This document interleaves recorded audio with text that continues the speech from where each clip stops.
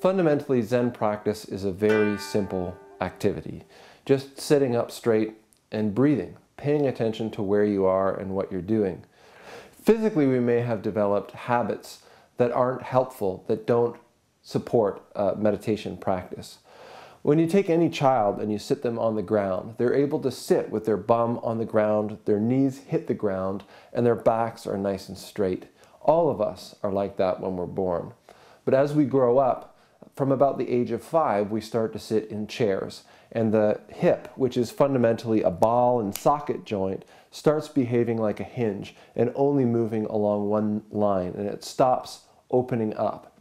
We feel this later when we go to sit down on the floor and our legs won't open.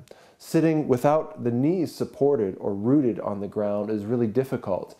You have to hold up the weight of your legs with the strength of your buttocks and your lower back. Your upper back comes into play to counterbalance it, and the whole experience ends up being uncomfortable and even painful. So there's lots of things that you can do to develop the flexibility of your hip. It's there to begin with.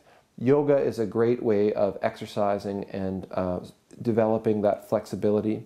But to start with, you don't need to have that flexibility. We'll get into some of the postures and how to sit on the floor, but first I'm going to talk about how to sit in a chair so that you can get started right away.